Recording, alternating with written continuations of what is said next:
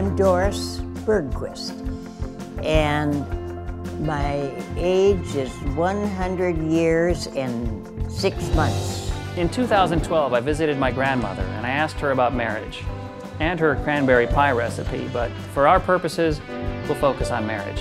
Why did you choose Carlton, my grandfather, as your husband? I have no idea except that I wanted to get married. That's what people did. They got married. he came up to call on me to, for a date one day. Carlton knocked on the door and he said, Nygard's the name. we didn't even know who, who Carlton was even. but he, he joined the family. Courtship and marriage have gotten a little more complex these days. My grandmother got me wondering why marriage is so difficult. We all know the statistics. Marriage rates are down, divorce rates are high, and over time, people become more and more unsatisfied in their marriages. Why is marriage so difficult for people? To find out, I talked with a few experts. Kai Toshiro is a psychologist who studies modern relationships. Well, part of the reason that's so hard for people to be married is that it's hard for them to be married now. And so marriage has been around for about 5,000 years. And it's really only in the last 150, 160 years of that that we have the expectations that we have for marriage. So we want our partners not only to be our spouses and co-parents, to run a household together, but now we want them to be our best friend. We want emotional gratification. Uh, we want tremendous sexual satisfaction. There's all these factors that play into what people want in a marriage now. And it's really a lot to expect from anybody. On a daily basis, I'm basically helping people solve the problems in their love life. Why is marriage so difficult for people? It's never been easier to, to be distracted or to wonder what if. As information technology has improved our lives in many, many ways, it's also managed to make them more difficult. That's probably the biggest reason why marriage is somewhat in jeopardy. I call it paralysis of choice. We're evolved to be fascinated by novelty, newness in food, in travel, in art, in music, in friendships, in myriad aspects of our lives. We're also attracted to novelty in our erotic lives. And um, so when you define marriage as forsaking all others till death do us part, that runs directly counter to our nature as a species. To track down one of the most influential researchers in the field of human sexual behavior, I traveled to the foothills above Malaga in Spain. Why is marriage so hard for people? We're not geared up for long-term relationships. Instinctually, behaviorally, emotionally, and yet we've sort of been gradually pushed into this way of living together. And uh, so it's difficult. It, it doesn't really work with our, our emotions and likes and behaviors. I found William Doherty in Minneapolis, my original hometown. Almost 0% of engaged people think they are ever going to get divorced. It is the myth of being exceptional that if I could wave a magic wand, I would try to help people explode that myth that they are going to be immune to these forces. Because I think wedding planning is actually the beginning of a marriage. And so pay a lot of attention to how you work out your decision making, your responsibility there, how you deal with your families. Start to, start to problem solve, which is what marriage is partly about, right now, because once you announce, you are in a new world. It's kind of scary. I don't know if I want a new world. I like the world I'm in. right. That's the exceptionalism, right? Marriage vastly reduces the possibilities for the future of your life. Talk to me about this concept of the leftover women in China. The leftover women stigma is women who have not been married by the age of, some say 27, some say 22, are called leftovers, and uh, many women internalize this stigma and become very desperate for marriage. How could someone be expired at 25? I think it's a stigma that comes from 5,000 years of culture around what is a woman's role in life. Part of it would be what society's telling them. You're not a whole person until you get married. you're missing something, you're missing your other half. But the fact of the matter is, marriage is really just another relationship. For a while there, you wanted another brother and sister, so you kept on asking me to get married, or dad to get married, or dad and I to get married so you could get a brother or sister. Did you start to realize that a lot of people have kids and they're not married? I have two biological children with two different parenting partnerships. What I chose to do as an alternative to conventional marriage is to have a parenting partnership. All the benefits of being married and building a life together and investing together and having children without the weather pattern of, of romance and intimacy that seems to be at the heart of most divorces. I believe in marriage. I think it's kind of a gift and it's magical and it's the ideal. But what about the rest of us? if you don't meet your soulmate, then it's quite high stakes to have a family and base your whole entire life on a system that you're not maybe sure about. But this parenting partnership is an alternative to not having a family or rushing into something. In Seattle, Dr. John Gottman was once a mathematician wondering if there were ways to quantify relationships. And then his wife, Dr. Julie Schwartz Gottman, helped him organize his data so it could be used for teaching. The Gottman Institute is really about repairing, restoring relationships. If you don't work on a relationship, if you just let it go, it deteriorates. 69% of problems that couples struggle with are perpetual problems. They never, ever go away. Part of the answer is really acceptance. You have to learn how to dialogue with those problems. Right. I'm a marital, couples, and singles therapist. Why is it so hard for us to do everything right in relationships? We don't have the skills to have relationships. We think they come naturally, and they don't. And people don't like when I say they're skills. They say that's artificial. No, we need to know that just like there are skills when you go to college to learn a trade, you need to learn the skills to stay married. There are thousands of marriage experts, but I also talk to my friends, which is usually my first stop for questionable advice. Doug and I have been married 19, no, nine, we've been 12. together 19 years. I, I said 20. No, we're gonna be 20 next year. So we're 19 years in. It hasn't been a perfect relationship. It's been a roller coaster. We call each other the work in progress. It's pretty much what our marriage has yeah, been. It is a work in progress. I do the work and she makes the progress. Yeah. Doug Williams and I worked together on TV shows like The Mind of the Married Man and The Bernie Mac Show. Why shouldn't I get married? What's the worst thing about marriage? Having to deal with somebody else's problems and make them your own. So when you're with somebody, you inherit all of their problems, health problems, emotional problems, their past history, and, and don't leave out credit. And their, their credit problems. That's all yours now. It's all yours. Joe Yannetti and I wrote a movie together about car salesmen called Suckers.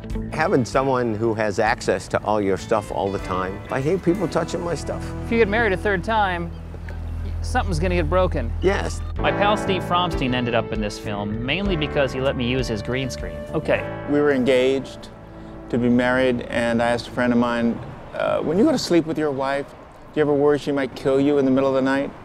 And he said no, and then I, that's kind of when I realized I was in the wrong relationship. Had she ever done anything that would give you a reason to be so worried? Well, you know, you mean like hitting or slamming things or climbing over my the wall to get back into my place? Yeah, I guess yes. She did all those things. You can read the restraining order. If I told you you could only have one car for the rest of your life, you'd be like, what kind of deal is that? If I told you you could have one food, what kind of deal is that? But I'm supposed to tell you you can have one woman and you're supposed to go, that's what I was thinking. Charles Darwin was faced with this same marriage conundrum. So he made a list. On one side, he wrote the reasons not to get married. Things like freedom to go where you like, choice of social activity, bro time, not forced to visit relatives, less expense, anxiety and responsibility, less quarreling, more free time to do things like read in the evening. You don't get fat, and you don't have to move to be near the wife's family. On the other side, he wrote reasons to get married. Things like children, companionship, love, you get a homemaker, your conversation and your music collection improve. It's good for your health, and it's better than a dog anyhow. He wrote this stuff, not me. Admittedly, he's better known for other things. The right side was much shorter, but it was a deeper, weightier list for Darwin. And so he got married and had 10 children. Apparently it worked out for him, but what about the rest of us? What happened in the past with human relationships? For 200,000 years, humans were nomadic, they wandered around, they shared everything. That way of life was very similar to what you, you see in our closest relatives, the, the chimpanzees. And natural, I, I think, is what what we were for that first 200,000 years. That, that is what suits people better in terms of emotions and, and instincts. Our species was organized as a sharing economy. No one owned the land, no one owned the animals. Is it communism? It's essentially a socialist uh, system. They had these, what we call these institutional marriages. People married those that they were more or less assigned to marry, and they were oriented to a larger community. I don't think women started living in men's houses, in the house that a, a man could say, This is mine, um, until about 6,000 years ago. Marriage came later when we could write, we could draw up contracts. It was a way of making alliances. In the earliest societies, it was the way two bands decided, oh, we don't have to fight when we meet because we have relatives in both groups. Once we got into agricultural societies, and particularly pastoral societies with herds of animals, where there were huge disparities of wealth opened up, then we became very polygamous. Polygamous societies are also very violent societies. And the reason for that is basically because when one man is monopolizing a few hundred women, there's a few hundred other men who are not getting women at all. How did understanding the concept of agriculture change the way people behaved sexually? It created a sense of propriety. And now the woman has to belong to me because I want to leave this stuff to my sons. If you look at the Anglo Saxon laws on marriage and sex, for example, which are not very much influenced yet by Christianity. They are very influenced by the idea that men own women and women can be bought and sold. And if you sleep with another man's wife, he can kill you. But also, if you want to make recompense, you have to bring him another wife and go and buy one somewhere. Nobody in those days went up and said, You know, I don't feel like I'm getting my needs met here. I feel like there's an imbalance between us, and this, marriage is much more favoring you or I'm tired of your demands on me for a degree of openness that I don't feel like offering. I'm using modern day vocabulary to describe inner experiences and interpersonal expectation that would be laughable in a prior generation. When did we start marrying for love? As soon as you begin to get institutions like banks that you don't have to marry other people to get money, and political institutions so it doesn't depend upon your family alliances. It's really only in the past 160 years that people started to marry for love. So it's a really unusual phenomenon because you didn't have to worry so much about survival. In many societies, love was considered an antisocial act. It was literally you were disobeying your parents, you were betraying the ideas for how you made society work. It was subversive. The woman in the past would say, he's not much of a talker, he doesn't listen to me very much, but he's a good provider, he's a good man. For the man who would say, she doesn't want to have sex all that much, and she's kind of bossy around the house, but she's a good mother, she's a good woman, she's faithful, good churchgoer. Good enough. Good enough. Okay, so things have changed. Instead of marrying the whole tribe, marrying one person for love is a modern invention. What percentage of people believe in soulmates? Gallup asked people, do you believe in soulmates? And 88% of respondents uh, said that yes, they do. Too many times we have overly romanticized fantasies about what our partner should be like. Okay, so there's a problem with high expectations. Whose fault is this? The blame game. That's a big one. Blame their parents, blame, you know, the, the, men, if they're women, blaming men, New York men, blaming women, blaming their exes, blaming everybody. But if you're seeing the same thing happening in your relationships, what's the common denominator? It's you. I can't write a book with the title, It's Not Them, It's You. Who's gonna buy that? but sometimes I, I can tell you, I see people who I worry for them, they will, they will be single indefinitely until they work on themselves. Can someone else make you happy? No one can make you happy. You need to come into a relationship with your own happiness. Someone can enhance your happiness. If you rely on the other person to make you happy, eventually you're going to be unhappy because if someone has the power to make you happy, they also have the power to make you unhappy. Having a realistic and accurate sense of what sort of animal you are is the necessary first step to any sort of intelligent navigation of life. Homo sapiens is the most sexual animal on the planet. Animals don't have sex anywhere near as much as humans do. Why are we so horny? In our species, sex was co opted for social purposes, possibly as far back as our last common ancestor with chimps and bonobos, five to six million years ago, because both chimps and bonobos also use sex for non reproductive purposes. Are we feeling frustration because our culture is asking us to behave in a certain way that's out of sync with our true human nature? Yes, I, I, that's the basis of the of the problem, and I think the nearer we get back to trying to structure society in a way that our instincts work with, the easier it's going to be for everybody concerned. There's bound to be a lack of sync between what we're culturally imposing upon ourselves and what we're naturally inclined to do, because culture can change much faster than genes can change. So, is it safe to say that humans used to live in these societies where they shared everything? Agriculture, the discovery of agriculture, changed our culture, and our culture began to evolve faster than we did, and so we are now asked to exist in a way to reach these ideals that are unreachable, that are not in sync with who we are, and so everybody's frustrated. Right. Civilization has been this amazing scam because civilization is constantly telling us that we're almost there. When computers are going to free up all your leisure time. Oh no, cell phones are going to free up all your leisure time. You're going to live in this uh, utopian future that we never get to. We're working more than we used to. We're working way more than hunter gatherers work. If you compare where we are now as a species to where we were 15,000 years ago, we're worse off in most respects. Our health is worse. Our people say hunter gatherers only live to be 30 or 35. Bullshit! Hunter gatherers lived into their 60s and 70s. We had it really good before agriculture. Jared Diamond, the author of Guns, Germs, and Steel, said that agriculture is the worst mistake in the history of the human race. Is it foolish of us to expect so much from love marriages? These expectations of love no longer work. In a world where men and women are increasingly equal and desire equal and collaborative, not specialized relationships. But you know, I've studied low expectation marriages of the past. I think in most cases, we want high expectations. High expectations help us live up to them. They just have to be realistic expectations. How long are relationships meant to last? They're meant to last as long as it takes to bring up a child. Anyone who's been in a relationship more than a few years knows that it's not a relationship, it's a series of relationships with the same person, and it's not even the same person because they're changing. What's telling you a relationship is doomed or a relationship is going to succeed? Emotional stability is one of the most powerful predictors of whether somebody will have a stable and happy marriage in the long run. We found that by observing the way a couple interacts, we can predict with over 90% accuracy whether they'll stay together or, or break apart, and if they stay together, how happy they'll be. And a lot of it is based on the way they talk to each other, even about how the day went, but especially during conflict. Because in disastrous relationships, people are pointing their finger at their partner and being critical and saying, here's what's wrong with you.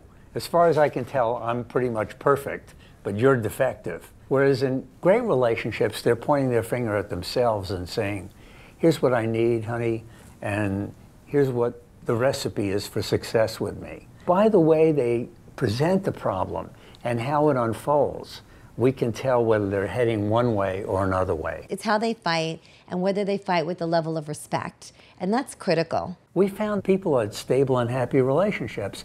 They had five times as much affection, humor, interest in one another, empathy as the negative stuff, the anger, the disappointment, the hurt feelings, you know, the sadness. Positive could be laughing at your partner's joke. It could be touching them on the arm as you pass by affectionately. Uh, a negative could be ignoring them, rolling your eyes, sighing passive aggressively. So you want five positives at a minimum, but 15 is even better. The ratio of positive to negative of great couples was 20 to 1 is even higher. How many people are here for a relationship? Dr. Pat Allen has been giving relationship seminars for over 40 years. Be careful about having intercourse too fast because he needs to miss you, he needs to chase you, he needs to see that you love you more than you love him. Who should pay when dating? Whoever asks for the date. I believe that the man should pursue in the beginning, but it's the women who are deciding how a relationship gets started. She's sending out the signals to be approached. She ran. I chased her. She caught me. it's good if you can pick up signals as to which pursuits might bear some sort of fruit. I think the cleanest contract on the planet is a prostitute's contract. And the only difference between a prostitute and a wife is a blessing, and the prostitute doesn't have to do laundry. How did the Creator create us? He created the man as a giver and the woman as a receiver. This is the act of procreation. It goes like that the man gives the seed, the woman receives the seed.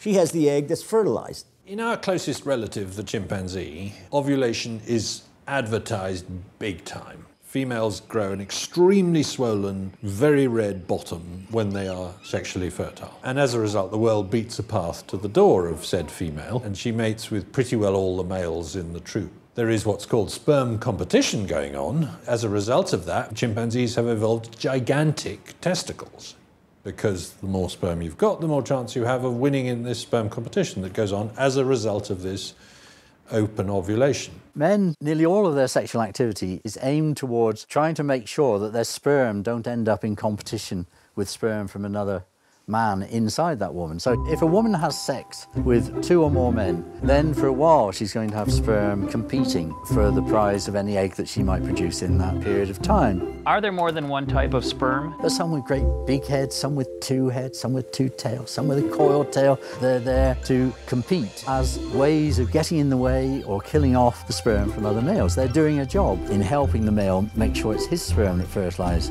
an egg rather than some other male sperm. And this has a huge influence on the way men and women behave. They don't know it's happening, they don't know they're doing it, they're responding to things like jealousy and uh, subterfuge and all, all, sorts of other things. When Robin Baker published his findings about sperm in 1991, that it's mostly an army and only 1% are there to actually fertilize an egg, it was hugely controversial because it implied that humans are designed to be promiscuous, that women's bodies promote sperm warfare, collecting sperm from multiple donors, so that only the very best sperm can fertilize her egg.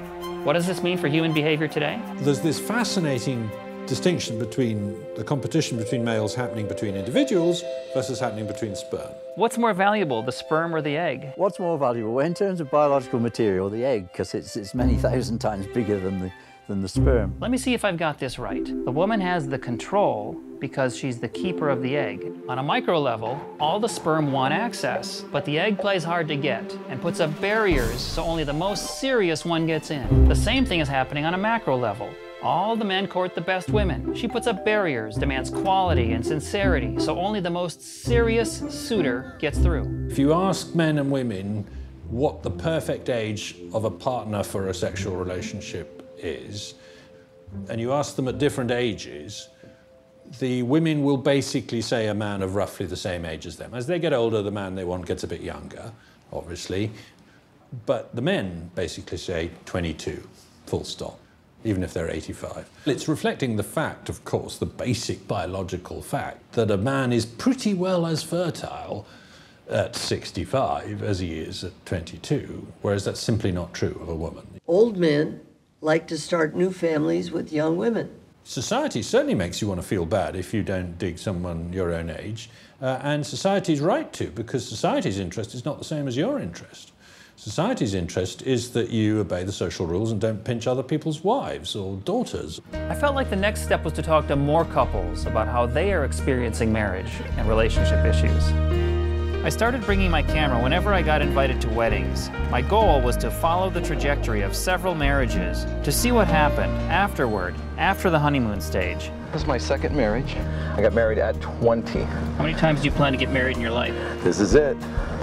I planned once. Wait till you see where we are. I mean, we are essentially getting married in a sewer. It's an aqueduct, but it could be considered a sewer. I have never been in love before I met Frank. I found out I really love him when I got to go away from him. She left for four months and I realized that I, I liked my life better with her in it than without. When I came here from Prague, I always fell in love with you again, so I'm pretty sure that you are the right one for me.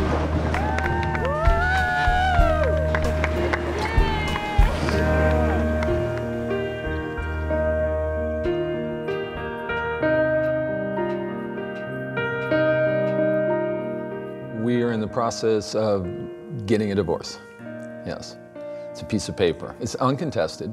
We're both in agreement on it. Why did you decide to end of the marriage? It worked. We both were really happy until Um, we weren't, and we would have changed a lot. She had career aspirations that were off the charts. I'm not kidding you. I couldn't work.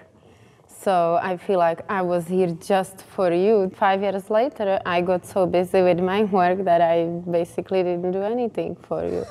It kind of flipped. hmm Completely. How does it feel to have been the wife? Well, I wasn't really. Well, I did clean the house a lot back then.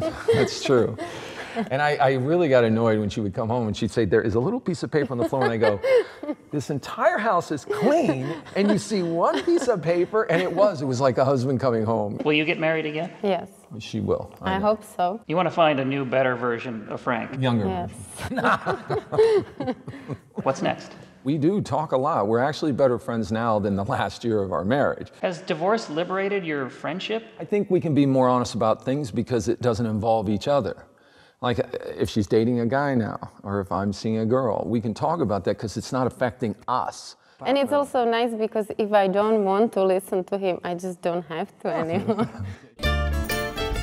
The next wedding I was invited to was definitely one of the most unique. It was held at a fairy convention. Being friends first is probably the best way to enter into a romantic relationship because you watch this person that you put on the back burner for, for years and years and uh, you get to know them really well. We decided to get uh, married. Why, let's see, decided to get married is such a funny word. I think it's almost like deciding to accept that the rain has come in.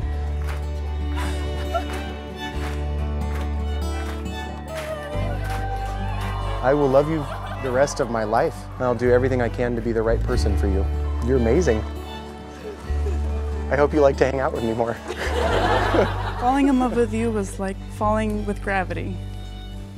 I feel so safe, so capable, and ready to be your partner. Though loving you can sometimes feel like I'm on the moon, you are home to me.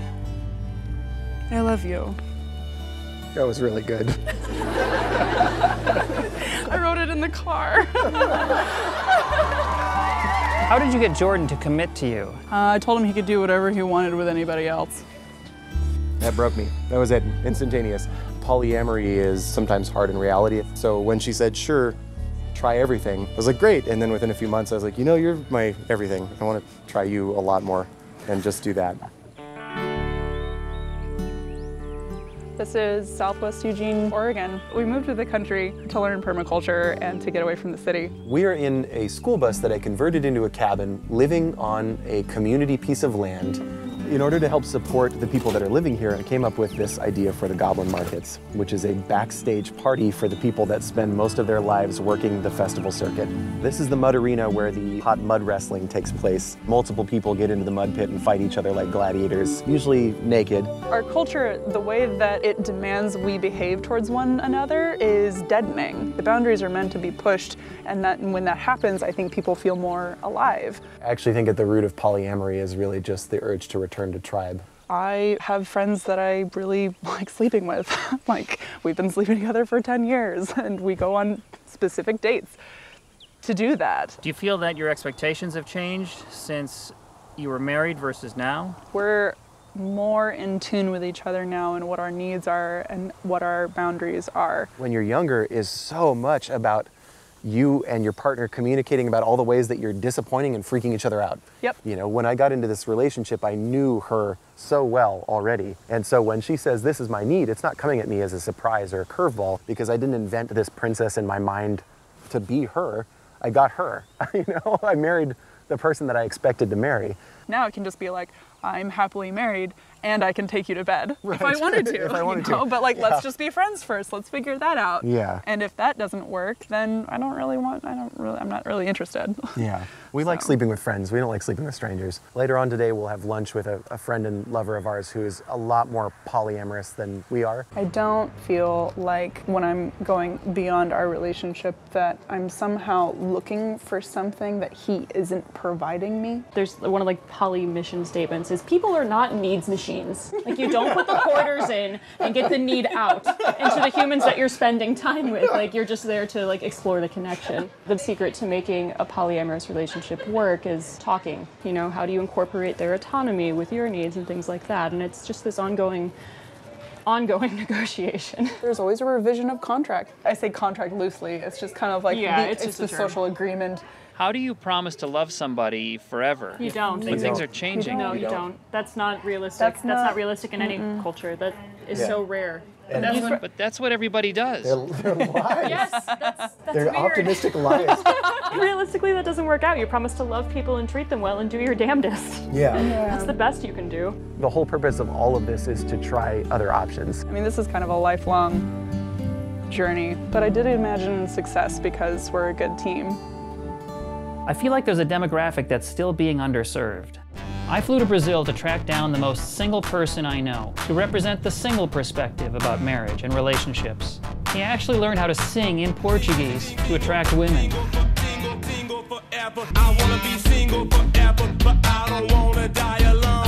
I used to rap in English and Spanish back in the States as a hobby and for fun in Carnival. My Portuguese was, got really good.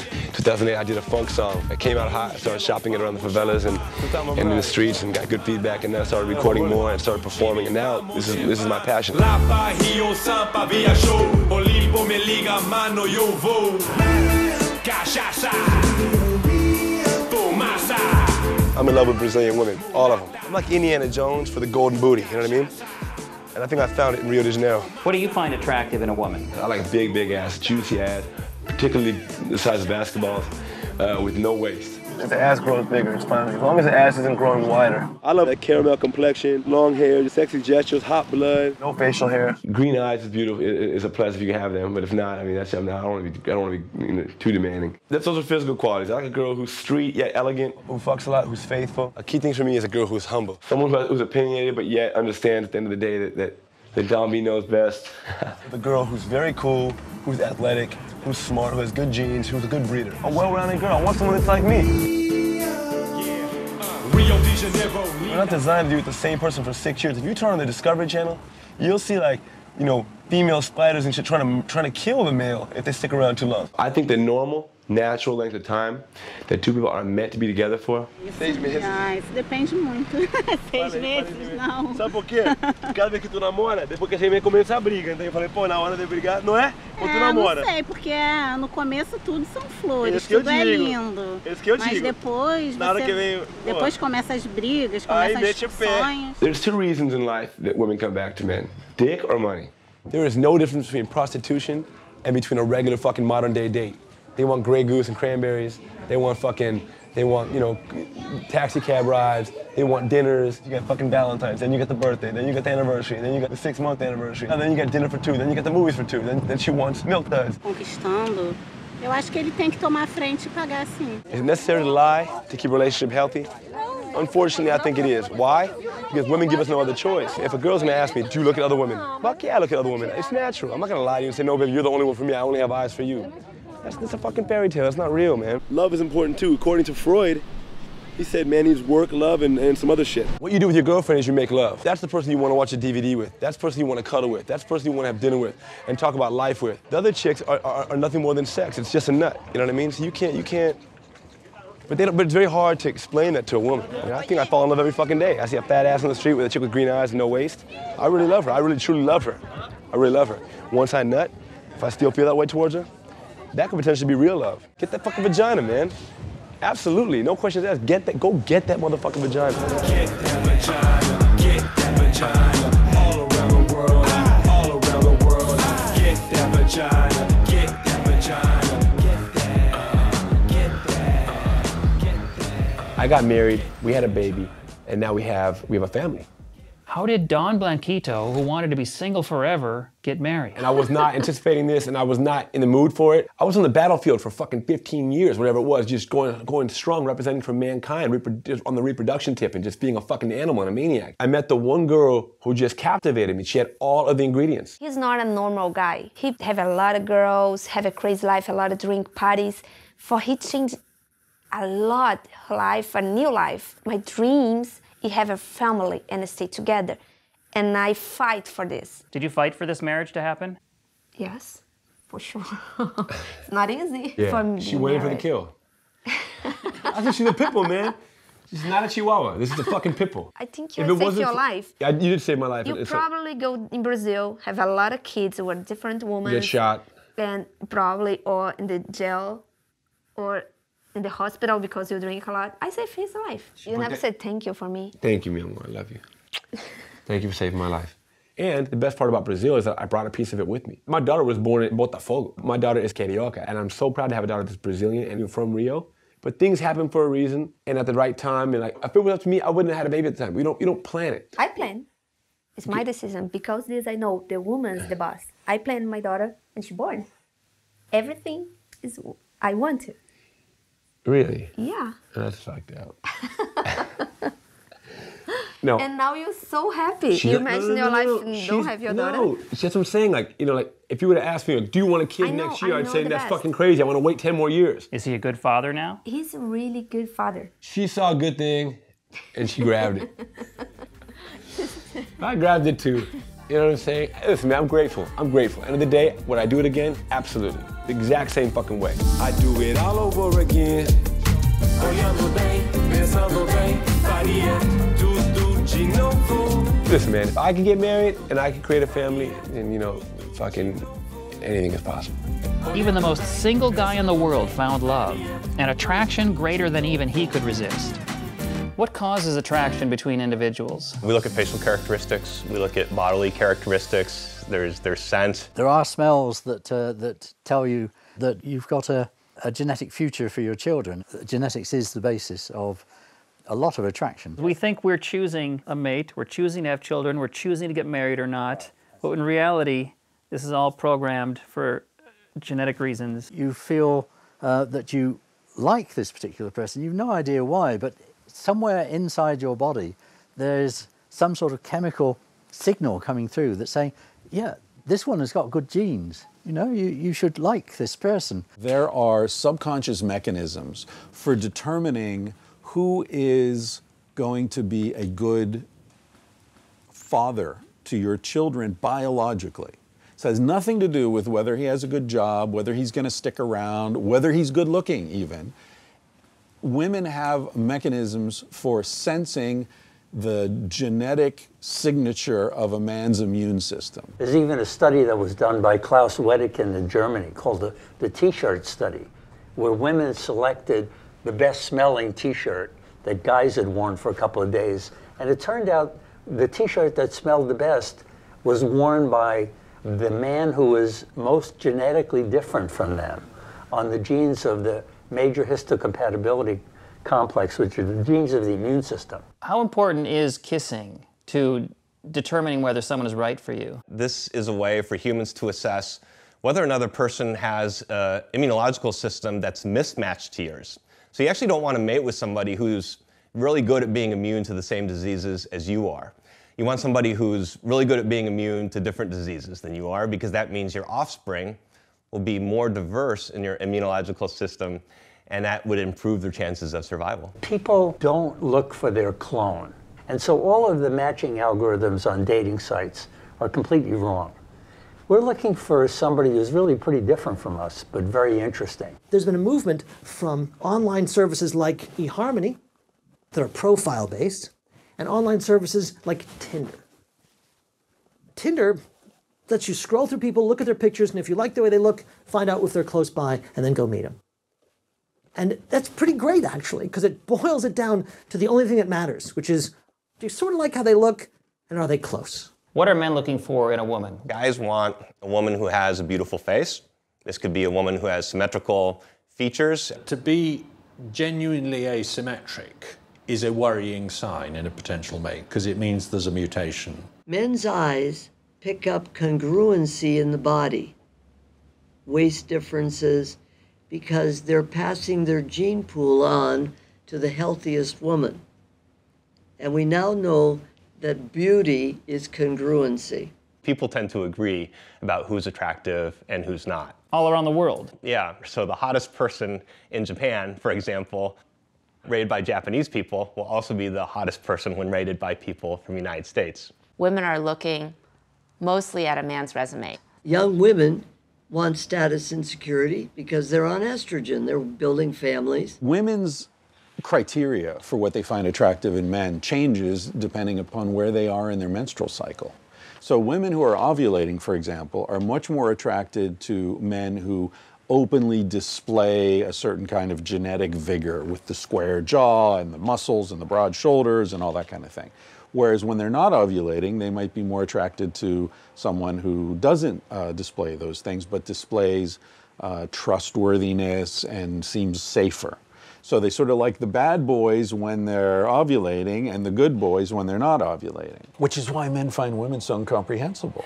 It's like, wait a minute, a week ago she was into me and now she's not. Why? You got to wait till next month. Men are terrified of women that want to get married. When they find a woman that doesn't want to get married, it's a challenge. So, how do you demonstrate that you don't want to marry? I live my life as if I enjoy my life. Someone who's happy in their life. They're not looking for someone to be their hero, to save them, to rescue them from their misery. If someone says, "Hey, I'm, I'm having trouble attracting uh, other people," what do you tell them to do? Project confidence. Confidence is by far and away the most attractive quality to both sexes. Key piece of advice for a man is have a plan. Be a guy. Take control. Before a guy even touches a girl, before a husband even touches a wife, he's got to touch her soul. Otherwise, why do people pull muscles and why do people mess up their joints? Because the joints aren't warmed up. We got to warm up our love muscle. Is that Exactly, exactly. How do we warm up our love muscle? By touching the soul. How do you touch the soul? Communication. When you're first getting to know someone, the most important thing is that you avoid debating them. You don't want to argue. You don't want to talk about money because it's a slippery slope. You either sound like you're bragging or you sound like you're broke. Bringing up past relationships, you don't want to talk about the past. Sometimes men do this because they want to impress women, but they talk about themselves a lot. And they'll come back and they want to go out with the woman again, and the woman does not want to go out with again because she's interpreting that as lack of interest in her. When I was out there doing the game, meeting people, I was never worried about that great looking underwear model guy ever. That was not competition. Because I generally found people who were less attractive, who wanted to feel like they were more attractive, would go off with that guy. And the people who already weren't worried about their attraction, uh, because they were gorgeous, might talk to me because they wanted to feel smarter. So there's always something that people are looking to get some unmet need met. So if you want to seduce somebody, if you can identify their unmet need and provide it, that's the way in. Identify their unmet need, let them know you have it, and not provide it. Because once you provide it, they're done with you. Who's the boss more often than not in relationships, the man or the woman? Women. The woman. Women. Women. We're in charge. I like to think it's me. The saying that I have is Norma wears the makeup and the pants in the family. Who's the boss in the relationship? He is. I am. See? He is. For how long? For how long? About an hour. I'm a figurehead, which is uh, a very old and ancient custom where you stand around and smile a lot and are blamed for things that go wrong. I'm the hand. I move pieces around. The woman's in the bus. I have absolute say at the end, but I don't say anything. I'm David's current wife. Duchess is his ex-wife. And And you all still live together? we all live together. We co-parent together. They had three children together and we all raised them here in this house. They're just going to do what they're going to do, and our job is just to hang tight and That's your opinion. just live with it. You need to say what you want, and if he loves me, he will comply. How can you identify which one is the boss? The one with the veto right, checks and balances. You guys ask for a lot of things even you know you shouldn't get. Even when a guy is the boss, the woman is the boss of the boss. It's like maybe the man is the boss until the woman gets really upset. Sometimes the man might have a different opinion, but if she's not happy, he's not happy, and then he might have a change of opinion. But the man has the last word. You know what the last word is? Yes, sweetheart. Yes, sweetheart. Why is this the case? Because once he gives her what she wants, she'll let him do whatever he wants. If a man is not giving her her spiritual needs, then her material demands are going to be endless. You are simple creatures compared to us. We're the center of the human race. But you have conned us, man, have conned us into thinking we're on earth for you. You're on earth for us and the kids. And if you do a good job, we'll keep you alive when you're an old fart. If you're expecting the emotion's going to win out, you're absolutely right. Women tend to come from a more emotional standpoint if there's a if there's a conflict or a problem. Women have a better way of being able to manage their feelings So therefore, women may appear to have more power and be more in control. The reason that men honestly don't think they're the boss is because women internally make the compromises before the discussion goes on. Women are pre negotiating before they even get to the negotiating table. One of the things we try to teach women is to say, well, I actually don't want to do this. I want to do these three or four things.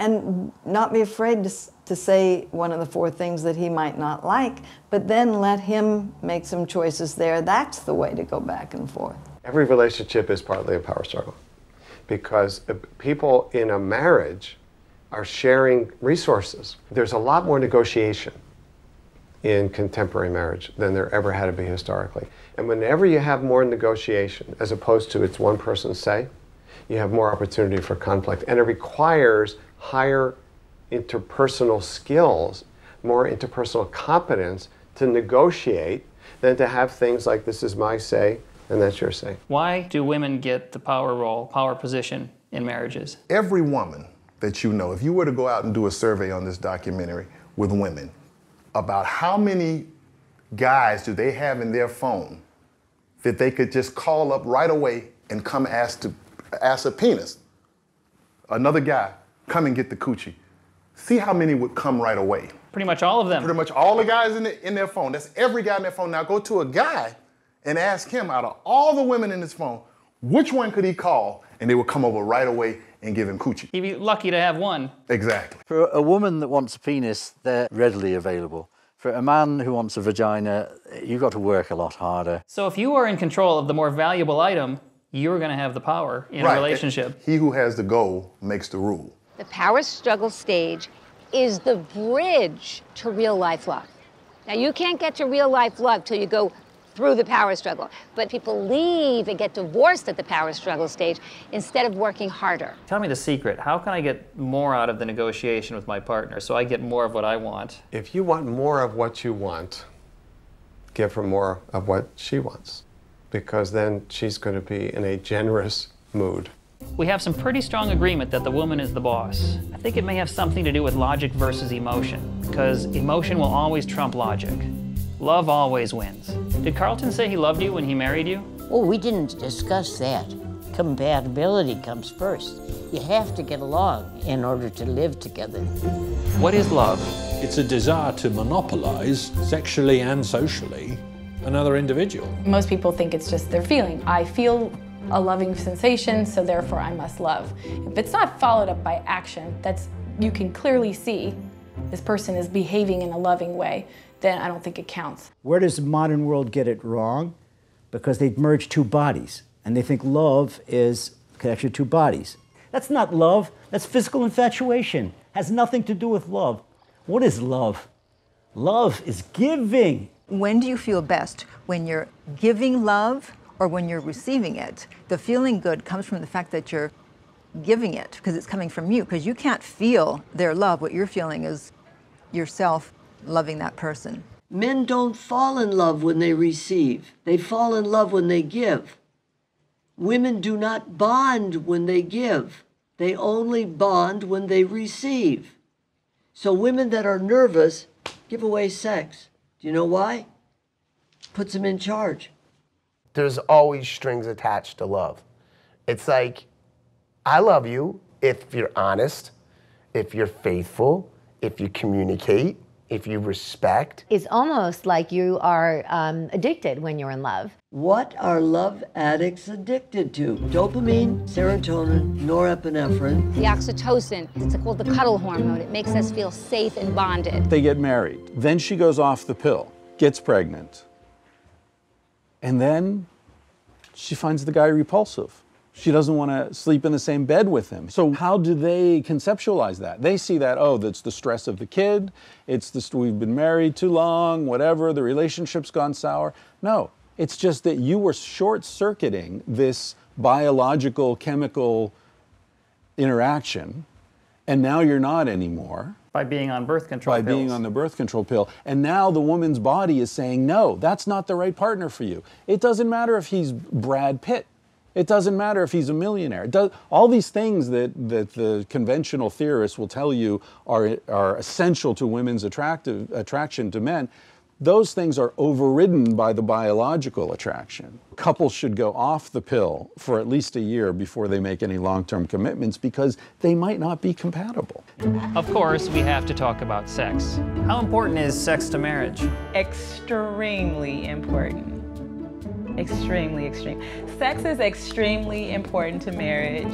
Sex is extremely important to marriage. Sex is as important to the relationship as it is important to the people who are in the relationship. Some people, they don't have a high sex drive. It's not something they would prefer comfort. They would prefer a different kind of connection. In life, you need sex just to just to maintain mental composure, chemical composure. The longer you don't come, have you noticed that the more fights occur, you start to become go crazy. You, you start to get angry, and your, your head starts to go nuts. So I feel like ejaculation is, is, is, is all of a sudden like once you come, it's like the relationship just gets better. There's such a thing called NSB, which stands for nasty sperm buildup, and that will change a whole man's demeanor. And so you gotta express that. It needs to be expelled from the body. He gets cranky if he doesn't get sex. So if I want a smooth marriage and I want to, you know, not manipulate, but get what I want, then I know that, like, you got better give it up. Better give it up. it's so funny that even that phrase is a scarcity, like somebody's taking something from you. It's like no, it's a it's it's really a gauge of our relationship. Even if a couple is very conflictual and they fight a lot, the sex is the glue that keeps them together. Couples that I worked with who stop having sex, they don't feel married. They feel like roommates. They have to have sex a minimum of once a week to stay chemically bonded. The first marriage, our sexual relationship was almost like a reward. Like if you've been good, then or you didn't upset me and you've been good, I'm gonna bless you. You would get upset and then I would recoil and I couldn't recover. Who wants to have sex when they in that mindset? Not me. It's your responsibility to your partner to service them because if you're the only this is the only place where you can get this one thing that you really want and sometimes you feel like you really need then you need to be able to get it when you want it The problem is that I'm always tired because. so She can always blame it on the kids. Sexual freedom and, and the way that we take that for granted is really something that's born in the 18th century. Before that, everyone agrees that sexual freedom is a bad thing, is a dangerous thing, that sex outside marriage shouldn't be allowed, and the state and the church and ordinary people put a huge amount of effort into policing and punishing people for that. Then in the 18th century, there occurs the first sexual revolution. For the first time, people start to articulate the idea that what they do in their own bedrooms as consenting adults is no one else's business. What's the normal number of times for a couple to have sex per week? I'd say three. Two or three. once, twice. Probably once or twice. I think the reality is one and under for married couples. What do you think? Um, yeah, about that. I'd settle for twice a year at this point. 25% of marriages in the US are sexless. But then if you add in couples where they're having sex out of duty or out of guilt or out of responsibility or out of some kind of religious duty, my guess is at least 40% of marriages in the US are sexually dead or, or, or not doing well. How many times was it when you were single? It was once, twice a day. Three times a day. Five or six a day. Like we have in Judaism, two weeks on, two weeks off is cold turkey. Anytime that the menstrual week and one week after, that is completely taboo. I've had people that make love every 25 years. If the couple is happy, it's fine. If one person thinks there's a problem, that's a definition of a problem.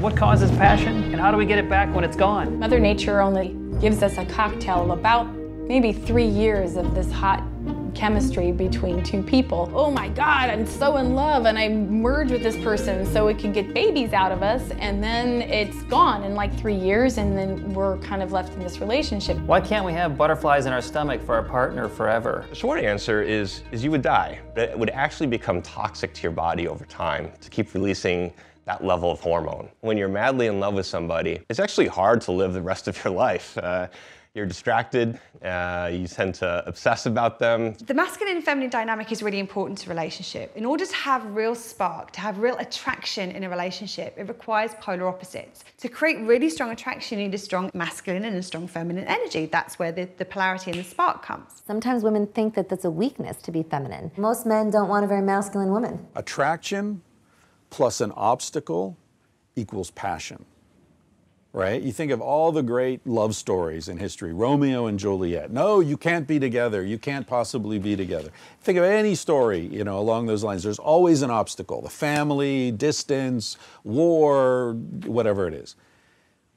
Well, what do we do when we marry someone or when we have a long term relationship with someone? We remove the obstacle. So then what happens? Passion diminishes. So to rekindle passion, you've got to place obstacles back in your right? path? Relationships that are long distance, relationships where one or both of the partners is away working often, relationships which are very tumultuous, right? You don't love me, I do love you, and then make up sex, right? You gotta fight all the time. Those things are functional for maintaining passion because they constantly create distance. When we had first met, Norma moved across the country. So our entire relationship was long distance, Was me staying up till four o'clock in the morning with a thesaurus, trying to write two sentences that were clever and witty and bright and smart like she was, and just subtly romantic. The function of sexual attraction is to close distance. But once you've closed the distance, then that pull is gone.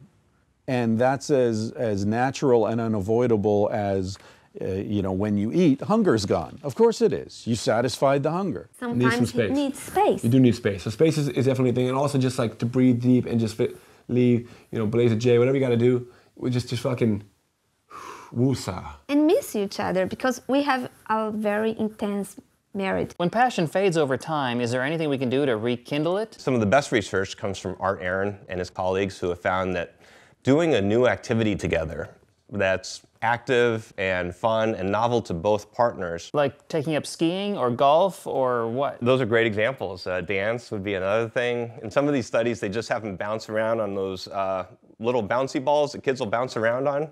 It's a totally ridiculous activity, but these couples have been married 20, 30 years, will report these feelings of euphoria and these feelings of passion that sometimes have faded over time. But it's got to be something that you both wish to pursue. It's something that seems to involve a bit of physical activity and something that's novel and new. Breaking your routine and doing something different. After we get married, we often stop doing the very things that got us to fall in love together. And habituation, then we experience not only the good side of habituation, which is the security, but the downside, which is boredom and taking each other for granted. Have fun. Don't forget the think about the first time you met. You didn't come with a serious demeanor. Pleasure is natural. And if you look at children running around, they get pleasure from everything. That's our natural state. What about monogamy? Is it difficult to be monogamous? If you're a Noah's Ark and you got one chick there, it's easy to be monogamous. Anybody can be in a monogamous relationship for three years. Then the need for diversification comes up, and that's a chemical issue. What percentage of mammals are monogamous? Very few, uh, fewer than 2%. Most birds are the other way around. Most birds are monogamous and very few are polygamous. About 90 95% of birds are socially monogamous.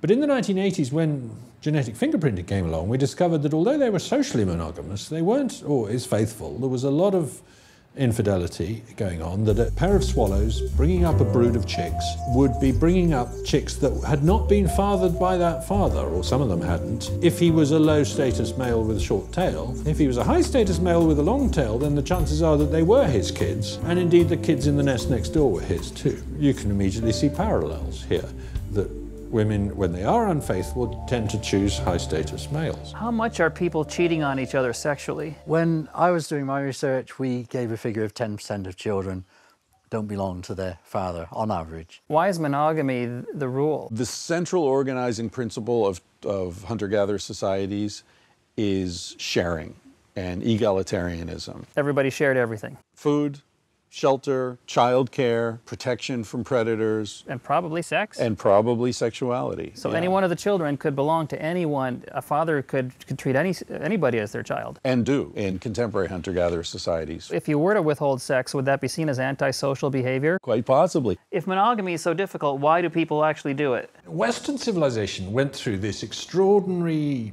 change where it gradually and painfully and with lots of setbacks imposed normative monogamy even on aristocrats. And why did we do it? We probably did it to pacify society, to redivert people's energy from the battle for women to the battle for economic growth. Until very recently, monogamy has only applied to women.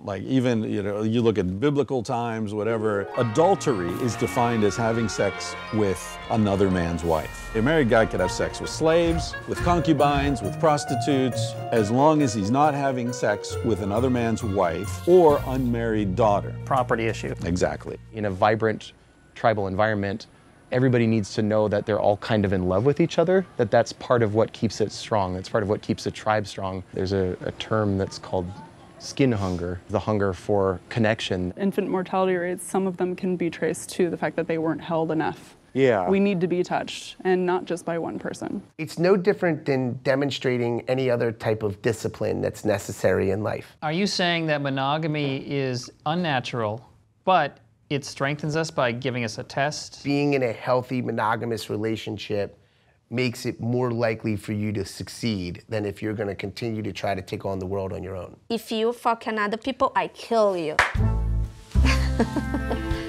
What is the definition of cheating? Knowingly demonstrating behavior that the other person would consider to be cheating. Anytime you spend more time and energy with another person or thing, golf, tennis, work, a person, than your partner. Keeping secrets from your spouse. Broken agreement.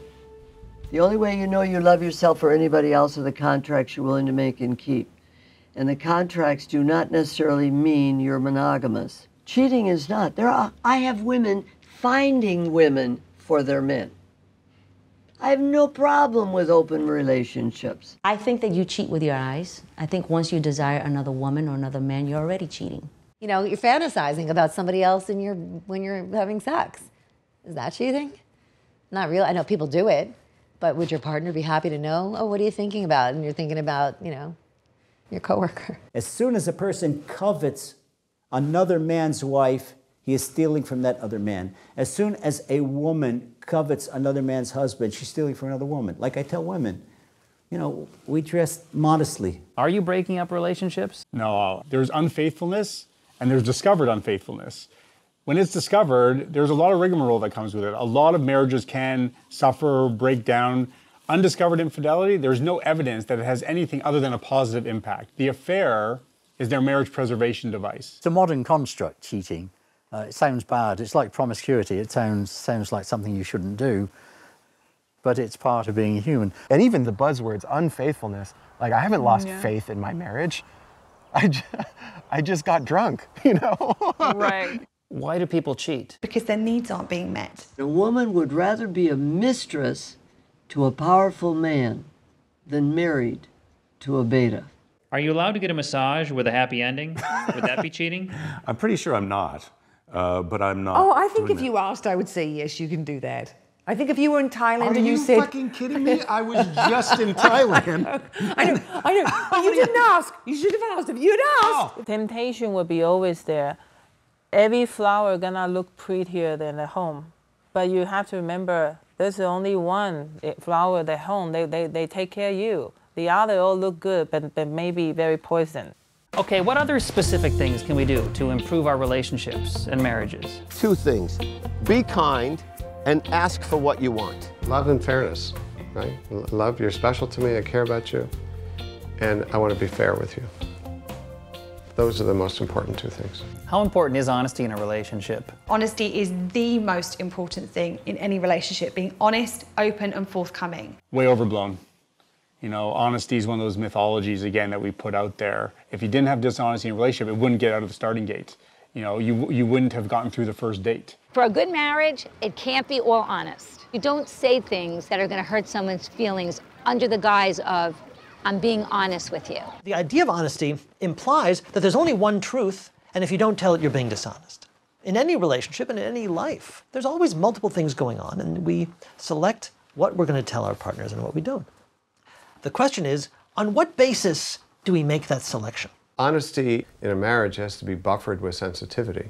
We want to tell our partners things that maintain closeness, that allow ourselves to be known accurately. I had a female friend a long time ago who asked her husband if she was the most attractive woman he'd ever dated. And he didn't say yes. She did not like that answer. And I thought, why'd you even go there? That's just a question you shouldn't ask. Let him volunteer that. But don't ask that if you can't handle the answer. Wasn't the right answer on his side? Of course you're the most Of beautiful, course, honey, right. even though even if it is an outright lie. People look to their partner for confirmation, right? And to help their ego and to make them feel better about themselves. So if you're really honest, you can cause long lasting damage. Maybe it is a good rule of thumb. The last is always the best. I think that's a great rule of thumb. No very serious discussions after 10 p.m. at night or or after a drink or two. After you've been drinking. No fight should last longer than 15 minutes.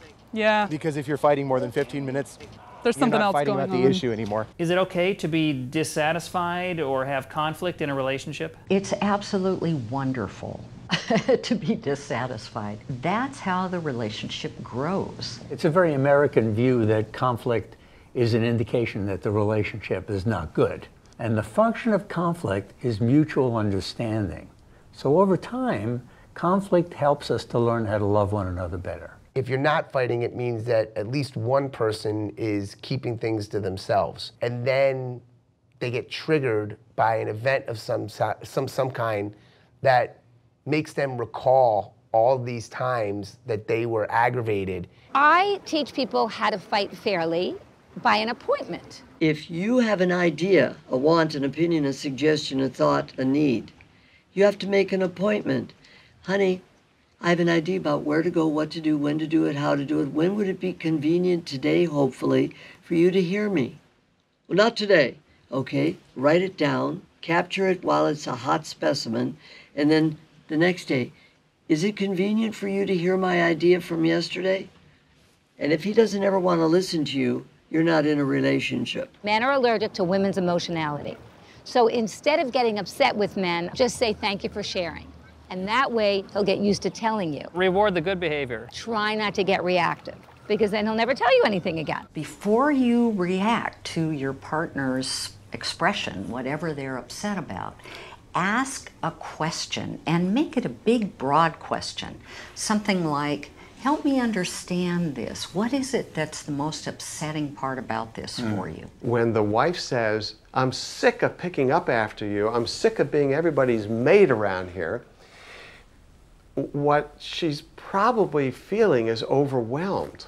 And so if he picks it up with, I have been doing so much better in my socks. This is the first time in the last eight days I have left those socks on the floor. And now that's when you're coming at me. After that conversation didn't go anywhere, she could go back and say, um, I feel bad about that fight we had. What I am is overwhelmed and needing your help. There's a pretty good chance he's going to sign up. If he went up to her and said, I just appreciate everything you do for me and the family, and I realize I've probably been letting you down, she would probably melt. If someone's kind of upset or speaking, I ask them if they want one of four things, which is do they want me just to listen? Do they want advice? Do they want space? Or they want just loving touch? Men and women dealing with stress very, very different. What ends up happening is that a woman starts talking about something that she's upset about, something that's a problem for her, and she wants to release the emotion, she wants to get it out, she wants to be heard, she wants to be understood. As soon as he hears the problem, he jumps in and wants to fix it because he wants to help. Unfortunately, him fixing it makes her feel that she's not being heard, which creates more emotion because the emotion gets amplified. So when women start to say, oh, I don't like my work today, my boss is uh, you know terrible, a lot of the men at this time should be just, oh honey, I know you work very hard. It's okay, you know. Come, give, let me give you a hug. That will solve everything. To make women feel loved, you need to let them feel like you you hear them. But most of the time men will say, "Man, that really sounds bad. Why don't you just tell him? Why don't you just, you know, quit?"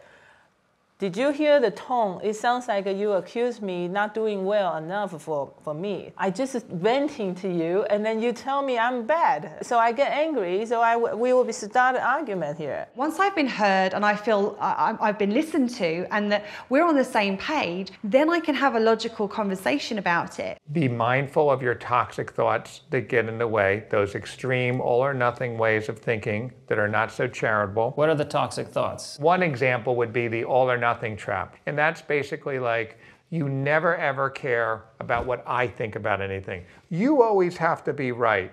You never pick anything up. You're always selfish. If you attack your partner's character in a fight, calling them names, saying, you're so lazy, you're so selfish, that goes to who that person is, and that leads to very bad feelings that can linger and maybe never go away. So it's better for me to say, I don't like the clutter versus you were a slob. Absolutely. The more that I can make it my problem, not in a manipulative way. I is much better than you in terms of dealing with conflict. I'm describing me, I'm not describing you.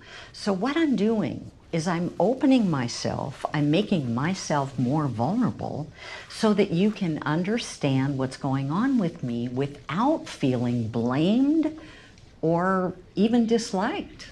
David's great at talking. David is not good at listening. I, I listen to you. You can't tell me I don't. You snore, and I have to keep. Babe, Right, okay. honey, honey, you one up? thing, the one thing is is that it depends on when you're talking to me. The one thing to really build as a skill is that ability to listen non-defensively when your partner is upset with you. Really communicate to your partner, when you're upset, baby, the world stops and I listen.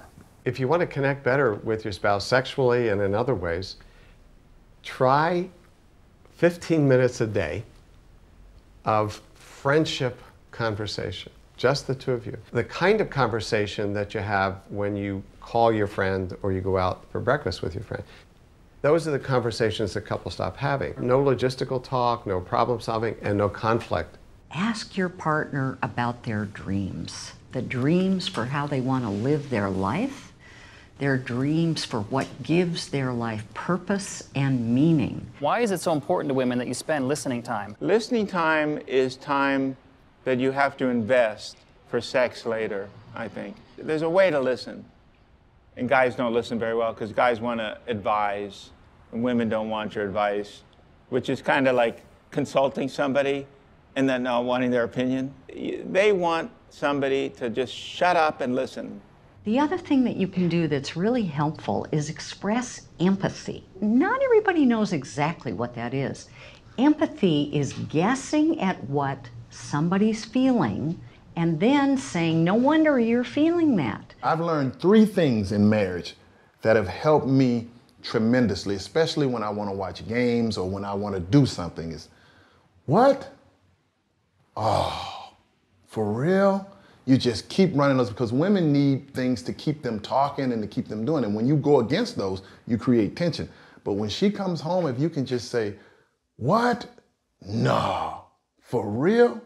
That just throws another log on the fire. She keeps talking, she keeps doing what she's doing, and you get peace of mind. How many minutes per night do you have to spend listening to her to make sure she's happy? Well, she sets the time on that. You don't have any say so in that. And it's whenever she wants it, you give it to her. And uh, there are things you can do to probably lessen that time. Like sometimes I'll try to finish a story off for her. Like she'll start out, well, you know, uh, uh, Jane got fired today. What happened? She slept with Joe, didn't she? Yep, I knew that was coming. Hey, let's check this out. You have to, you know, kind of massage to get the time to get out of the time. First of all, when I talk to a couple, I ask the guy, what hurts your wife, not what hurts you. See if he knows. And then I ask the wife, did he represent you accurately? And she says either yes or no. So we see right there, if he understands what, what his wife has hurt, the same thing to wife. What hurts your husband? And if she can relate that, if she can't relate that, hey guys, no communication. So what, there's no chance. Number one, never ask him what he feels psychologically. Are you happy? Are you sad? That's mothering. Only ask him what he feels if he's puking or bleeding. What should men be doing? Never ask her what she thinks. unless you're doing business with her and you both get paid. Tell her what you think, what you want, your opinion, your suggestions, your ideas, and then ask her how she feels. How can I choose a better partner? What is it that you want in a partner? List the traits and characteristics that you desire. We do this in class sometimes with my students, and they'll list dozens of things that they want in a partner. The hard part comes when I say, now be really focused on the top three. What are the three things, three traits or characteristics that you really want in a partner that you can't live without? And a lot of times then when you ask students then to think about, well, what were your previous partners like and did they possess those characteristics? They'll say they had none of them. Should I stop looking for a nice figure in a woman and focus on emotional stability? If you were a perfectly rational being, Roger, I think that would be a good idea. But I always say, uh, kissing your partner shouldn't feel like eating your veggies. In the Kama Sutra, they say that the three principal aims in a man's life should be wealth, virtue, and love. And that you can't achieve the any heights of one of them without simultaneously pursuing the other two. So you can't actually be completely and totally in love if, unless you are trying to be a, a wealthy and virtuous man. The most undervalued tool that enhance emotional health after 23 years of being a psychologist is gratitude. Being grateful for the person who you wake up next to. I think forgiveness is essential in, in, in, a marriage because where the fuck are you gonna go? You're still gonna wake up next to that person the next day. I think now our fights are a lot less intense than they used to be. When there was broken glass, all kinds of crazy shit. I mean, I'm in Brazilian. the- in the she's Brazilian. In the beginning, you know, because it was just fucking everything was a goddamn fucking, you know, level five hurricane. We've had a million fake breakups where we fucking go, she goes to her Mhm. mom's, or or or we leave, walk out, slam the door, fuck you, I'm signing the papers, and it never goes anywhere. We're still back in the same goddamn place, and we're in love. We have a plaque in the kitchen, Yeah, which the I can show you too. It's called the, the house rules, mama's rules. This is my rules. One, be kind. Forgive quickly. Tell the truth. Love each other. And have fun. We still do things to have fun. This is not a boring marriage is not suicide. Marriage is not a death certificate. Marriage is is, is, is, is, is a new chapter to life. Marriage is living. What advice do you have for somebody considering marriage? You will absolutely know it in your bones if you found someone that will work for you. And if you spend a lot of time convincing yourself about it, it's not the right Not person. a good idea. Before anyone gets married, I think they should do premarital counseling. Did you do that? No, uh, we did, but we lied. Because a lot of times people don't ask the questions about how you're going to handle finances and children and infidelity. What if nobody gets married anymore if they go to counseling first? Cleanliness of a house, aspirations and goals. We didn't have any goals. I started having tons of goals. My husband had zero goals, and that was the hard for me. Yeah, but me. I've grown up since then. I'm a big boy now. I think the person should have to list three references. And you should be able to call those references and find out what was the reason the relationship didn't work out. Hey, I checked your references out.